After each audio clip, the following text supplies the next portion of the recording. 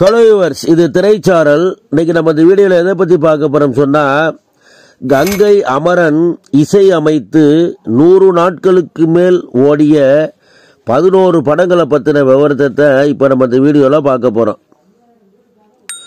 ஆயிரத்தி தொள்ளாயிரத்தி எழுபத்தி ஒன்பதில் வெளிவந்த சுவரில்லாத சித்திரங்கள். ஆயிரத்தி தொள்ளாயிரத்தி எண்பதில் வெளிவந்த எங்க ஊரு ராசாத்தி. ஆயிரத்தி தொள்ளாயிரத்தி எண்பத்தி ஒன்றில் வெளிவந்த மௌன கீதங்கள். ஆயிரத்தி தொள்ளாயிரத்தி எண்பத்தி ரெண்டில் வெளிவந்த வாழ்வே மாயம். ஆயிரத்தி தொள்ளாயிரத்தி எண்பத்தி மூன்றில் வெளிவந்த நீதிபதி. ஆயிரத்தி தொள்ளாயிரத்தி எண்பத்தி மூன்றில் வெளிவந்த சட்டம். ஆயிரத்தி தொள்ளாயிரத்தி எண்பத்தி ஐந்தில் வெளிவந்த மண்ணுக்கேத்த பொண்ணு.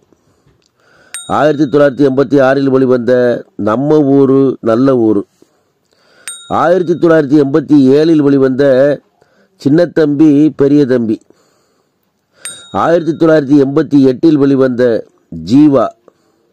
ஆயிரத்தி தொள்ளாயிரத்தி எண்பத்தெட்டில் வெளிவந்த என் தங்கச்சி படித்தவ இந்த பதினோரு படங்களும் கங்கை அமரன் இசையமைத்து நூறு நாட்களுக்கு மேலே ஓடிய படங்களாகும்.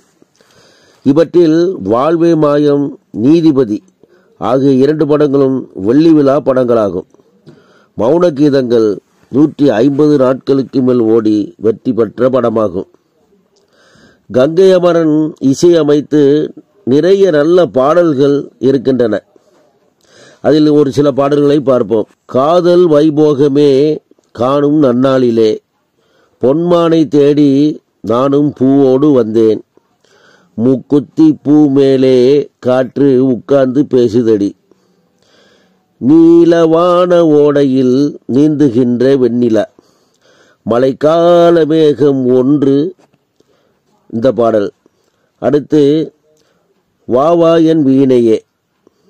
அடுத்து வாழ்வே மாயம் இன்று வாழ்வே மாயம் என்ற பாடல். மேலும் ஒரு காதல் என்பது என் நெஞ்சில் உள்ளது இந்த பாடல். அடுத்து ஜீவா படத்தில் இடம்பெற்ற ஹீரோ வந்தா செடி உன்னை தேடியே. இந்த பாடல்களும் மேலும் மண்ணுக்கேத்த பொண்ணு நம்ம ஊர் நல்ல ஊர். இந்த படங்களிலும் நல்ல பாடல்களாம் வந்திருக்கின்றன. இந்த பாடல்கள் அனைத்தும் கங்கை அமரன் இசையமைத்து சூப்பர் கிட் ஆகிய பாடல்கள் ஆகும்.